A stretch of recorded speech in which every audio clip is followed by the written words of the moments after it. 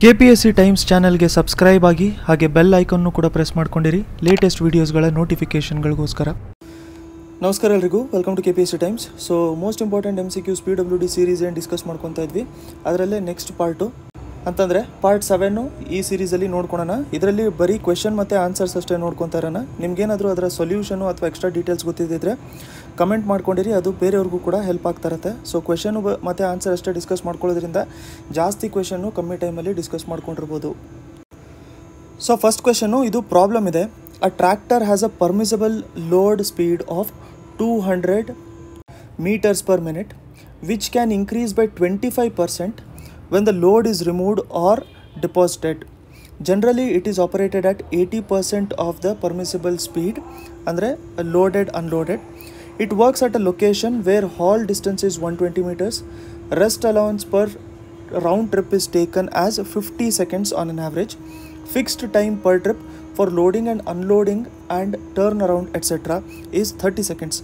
What is the effective cycle time so ಇದಕ್ಕೆ answer ಬಂದ್ಬಿಟ್ಟು ನೀವು ಸಾಲ್ವ್ ಮಾಡ್ಕೊಂಡಿರ್ಬೇಕಾದ್ರೆ ಬಿ ಬರುತ್ತೆ one sixty one seconds second question the purpose of lateral ties in a short R C column is to ಯಾವುದಕ್ಕಿರುತ್ತೆ ಅಂತಂದರೆ avoid buckling of longitudinal bars avoid buckling of longitudinal bars third question when a two hinged parabolic arch is subjected to a rise in ambient temperature the horizontal thrust at the support will horizontal thrust ಜಾಸ್ತಿ ಆಗುತ್ತೆ. Fourth question In the slope deflection equations, deformations are considered to be caused by deformations are caused by bending moments only. Fifth question The maximum bending moment caused by a set of concentrated moving loads is always under a load close to a centroid of the set of loads.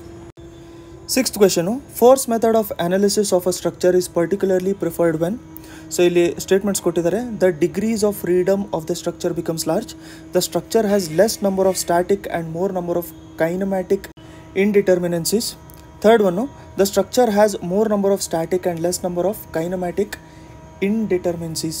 So ಇದಕ್ಕೆ answer B ಇದೆ two ಅಷ್ಟೇ correct ಅಂತ.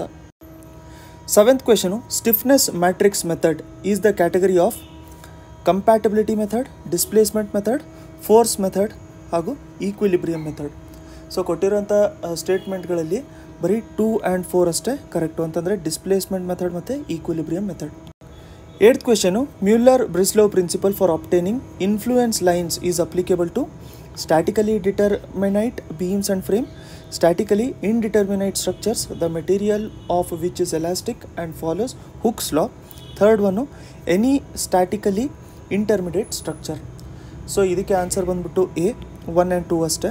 So ಇದು statically determinate beam and frame ಮತ್ತು statically indeterminate structures ninth question the plastic neutral axis divides the given section into two equal halves divides the given section into two unequal halves lies on the centroidal axis of the section ಇದಕ್ಕೆ answer ಬಂದ್ಬಿಟ್ಟು one only ಅಂತಂದರೆ divides the given section into two equal halves tenth question the plastic moment capacity M P is ಇದಕ್ಕೆ answer C greater than the yield moment so video ಇಷ್ಟ ಆಗಿದ್ದರೆ like ಬಟನ್ನ press ಮಾಡ್ಕೊಂಡಿರಿ. ಹೊಸಬರಾಗಿದ್ದರೆ ಚಾನಲ್ನ subscribe ಮಾಡ್ಕೊಂಡಿರಿ. ಇದೇ ಥರ next videos ಕೂಡ ತೊಗೊಂಬರ್ತೀವಿ ನಾವು P W D related so ನೀವು ಸ್ಕ್ರೀನ್ ಮೇಲೆ ಬರ್ತಿರೋ ಅಂಥ ನಂಬರ್ಗೆ ಕಾಂಟ್ಯಾಕ್ಟ್ ಮಾಡ್ಕೊಂಡಿರ್ಬೋದು. ಅಕಸ್ಮಾತ್ ನಿಮಗೆ ಪಿ ಡಿ ಎಫ್ ಬೇಕು, ಇಲ್ಲ ಅಂತಂದರೆ ನೀವು ಗ್ರೂಪ್ನ ಜಾಯ್ನ್ ಆಗಬೇಕು ಅಂತಂದರೆ ನೆಕ್ಸ್ಟ್ ವೀಡಿಯೋಲಿ ಮತ್ತೆ ಸಿಗೋಣ.